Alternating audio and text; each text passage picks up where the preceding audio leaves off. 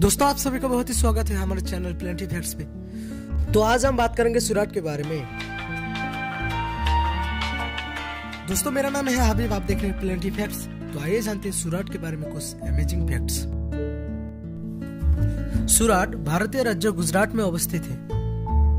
और सूरत अहमदाबाद के बाद गुजरात का दूसरा सबसे बड़ा शहर है। टेक्सटाइल इंडस्ट्री, डायमंड कटिंग और डायमंड पॉलिशिंग के लिए सूरत दुनिया भर में फ़ेमस है। इसलिए सूरत को सिल्क सिटी और डायमंड सिटी के नाम से जाने जाती है। दुनिया में 80 से 90 प्रतिशत हीरे के कटिंग और पॉलिशिंग सूरत से होती है। 2011 में हुए इंडियन सेंसस के मुताबिक सूरत की कुल आबादी लगभग 45 लाख से ऊपर है और 2017-18 में बढ़कर 60 लाख से ज़्यादा हो गया है। अगर पॉपुलेशन के हिसाब से देखा जाए तो सूरत भारत में नई सबसे बड़ा मेट्रोपॉलिटन एरिया है। सूरत शहर 326 स्क्वायर किलोमीटर में फैला हुआ है। साल 1612 में अंग्रेज़ों ने सूरत में अपनी पहली भारतीय ट्रेडिंग यानी व्यापारिक फैक्ट्री की स्थापना की।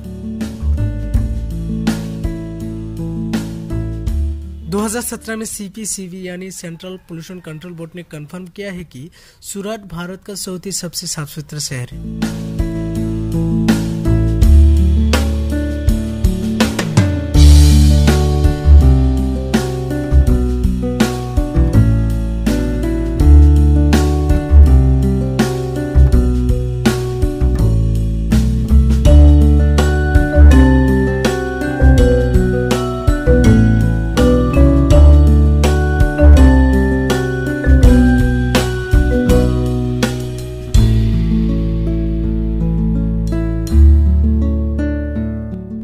दोस्तों, यह है सूरत रेलवे स्टेशन। साल 1860 में सूरत में रेल सेवा चालू किया गया।